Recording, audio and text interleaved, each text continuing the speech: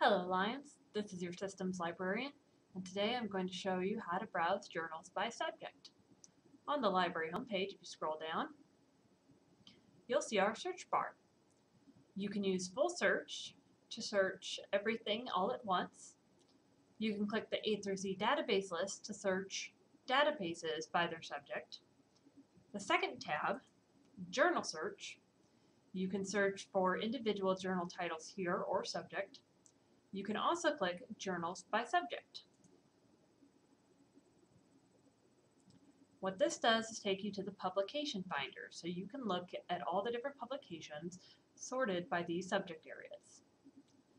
I'm going to click on Marketing.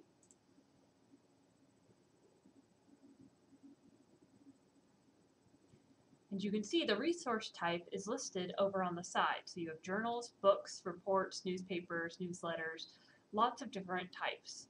We're going to limit to peer-reviewed journals. So now these are only the peer-reviewed journals for marketing.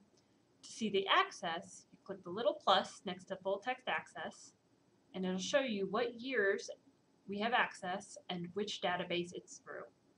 If you'd like to share this list with someone, click Share and copy the persistent link and this will share this list with whomever you email it to.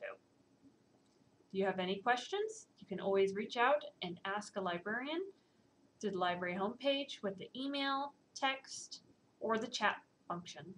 Thank you. Have a great day.